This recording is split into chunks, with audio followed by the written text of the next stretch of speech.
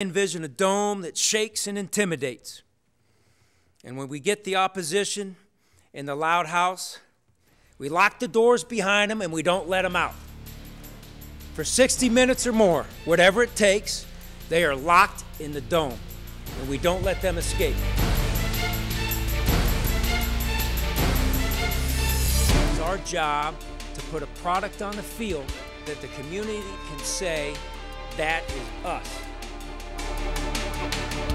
We want to put the fear of God in the opposing football player that happens to have the ball underneath his arm.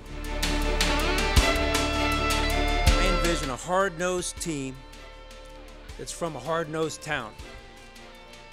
And the thing I like about Syracuse, the city, is that the people that live here and embrace it are tough people.